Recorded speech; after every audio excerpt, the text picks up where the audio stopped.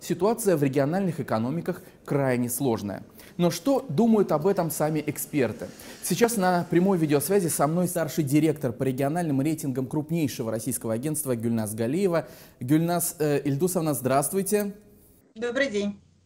А, ну, скажите, пожалуйста, собственные доходы российских регионов в апреле в среднем сократились на 30% из-за падения нефтяных цен и введенных по всей стране карантинных ограничений. Вот по вашему мнению, что это значит для региональных экономик и с какими негативными последствиями россияне могут столкнуться уже в ближайшей перспективе? Действительно, апрель месяц был достаточно сложным для региональных бюджетов. А, очень сильно просели собственные доходы э, регионов.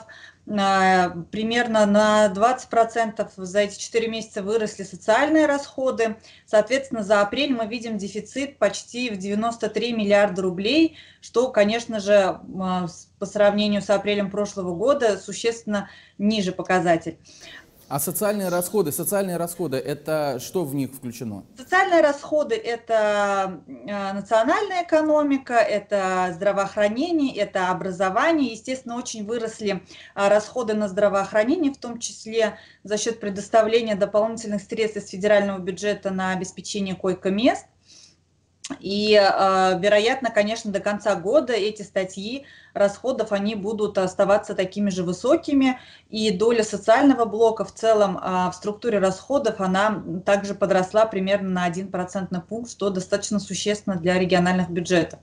А регионы вот за эти 4 месяца не досчитались примерно 200 миллиардов собственных доходов, это очень большие цифры, конечно же.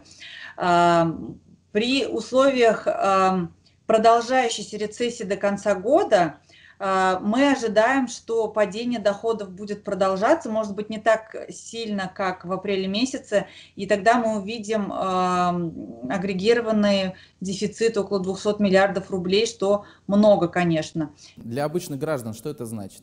Какие перспективы? Для обычных граждан, а, обычные граждане, конечно же, они напрямую не, не, не видят и не чувствуют а, буквально, что упали доходы бюджета, да, потому что социальные расходы регион, а, несмотря на то, что упали собственные доходы, он, они продолжали выполнять. Если а, рецессия продолжится, и если вдруг придет вторая волна, о которой все говорят, да, что вот к осени стоит ожидать вторую волну, то потребуется как минимум такой же объем поддержки от федерального бюджета, чтобы регионы могли исполнять свои социальные обязательства и э, поддерживать население и малый и средний бизнес.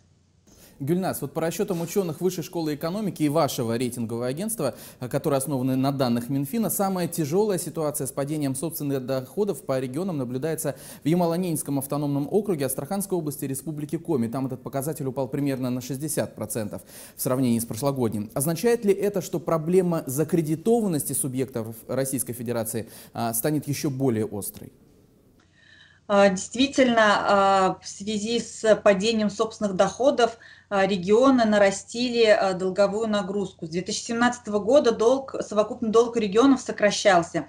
И вот с начала этого года долг пошел в рост.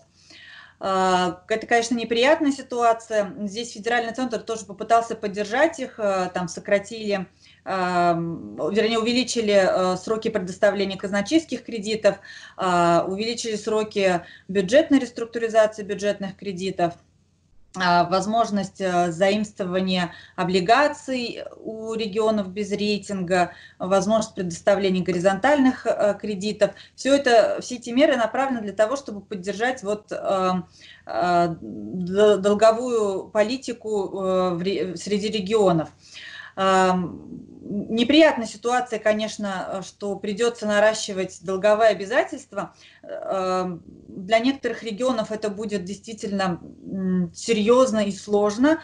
Ну, тот же Янау, например, у него это же регион, который а, завязан на нефтяных доходах. Для них это эти падения доходов были наиболее существенны. Но это достаточно сильный регион, у них высокая кредитоспособность. Они даже если нарастят долг, для них это будет а, не так болезненно. Вот, Гюльнас, одна из инициатив, недавно принятых на уровне правительства, это разрешить регионам не платить по бюджетным кредитам до конца этого года, а в период с 2021 по 2024 годы выплачивать только 5% задолженности ежегодно. Как вы думаете, вот это временное снижение долговой нагрузки на региональные бюджеты, э, это вообще эффективная мера?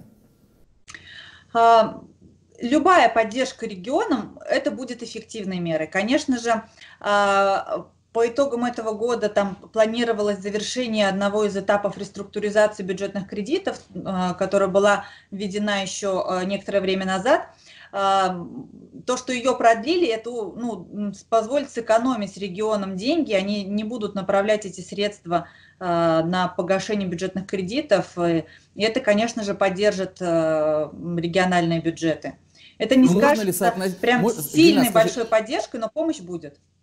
Но можно ли соотносить вот сэкономленные деньги, которые э, должны были пойти на уплату э, процентов по бюджетным кредитам, э, с тем э, недополученными доходами, которые региональные бюджеты вот, за апрель а, получили? Ну, кстати, нет, такого сопоставления нет, потому что именно проценты по бюджетным кредитам, они очень низкие, потому что процентные ставки по бюджетным кредитам самые низкие.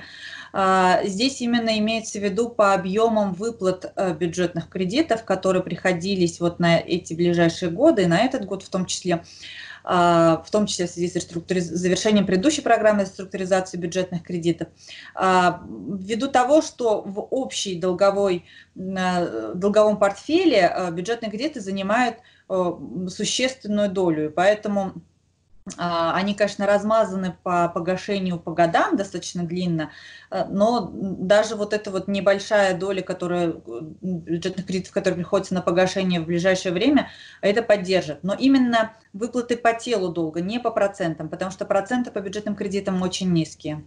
Гюльнас, последний вопрос. Э, одна из последних новостей э, говорит о том, что Международный валютный фонд ухудшил свой апрельский прогноз по ВВП Российской Федерации, который, как ожидается, упадет на 6,6% в 2020 году, но вырастет на 4,1% в 2021. Стоит ли прислушиваться к данному прогнозу? Э, а если, вернее, стоит ли прислушаться, во-первых, к данному прогнозу и учитывается ли то, что в России может начаться вторая волна пандемии? Пандемии, и этот прогноз э, кажется неактуальным. Но мы со своей стороны, конечно, ожидаем, что второе полугодие будет э, таким просевшее с показателями где-то до четырех с половиной. А, по итогам года с учетом восстановления экономики, мы все-таки ожидаем восстановления экономики, а, что будет до 4,2% где-то. А, но в случае, если не придет вторая волна или если придет, но пройдет гораздо мягче, да, восстановятся экономики, в том числе международные сообщения, сотрудничество, а, подрастет цена на нефть, то, возможно, и до 3% только. То ну, вот 4... наши ожидания более оптимистичные. То есть 4 э, и 2, э, по вашему мнению, это самый худший вариант? Это с условием ну, мы ожидаем, да, мы ожидаем, что эпидемии. такое будет по итогам года, пока вот Естественно, что все эти прогнозы, они могут пересматриваться, и они у всех пересматриваются, потому что до конца неизвестно, как оно будет во втором полугодии, в третьем квартале в четвертом квартале, когда вот как раз ожидается та самая вторая волна, а, насколько масштабная она будет, будет ли с такими потерями, как вот мы видели сейчас – Все, конечно, от этого будет еще зависеть, да. Ну, вы говорите, что прогнозы пересматриваются, в таком случае у меня логичный вопрос. Тогда зачем эти прогнозы в принципе а, публикуются, если все время все меняется? Ну, мы же э, прогнозируемся, исходя из э, точки, которые, в которой находимся сейчас, и э, заглядывая в ожидания и озвученные правительствами меры и поддержки и развития дальнейшие. Конечно же, просто всегда случаются э, события, которые нельзя спрогнозировать и предсказать, и они могут внести существенные коррективы. Опираясь на текущую э, ситуацию, на текущее развитие экономики и выход из кризиса, наши ожидания вот такие, да. Гюльнас, спасибо вам за ваше экспертное мнение. Спасибо ну, а вам я хочу большое, напомнить, Михаил. что со мной на прямой видеосвязи была старший директор по региональным рейтингам крупнейшего российского агентства Гюльнас Галиева.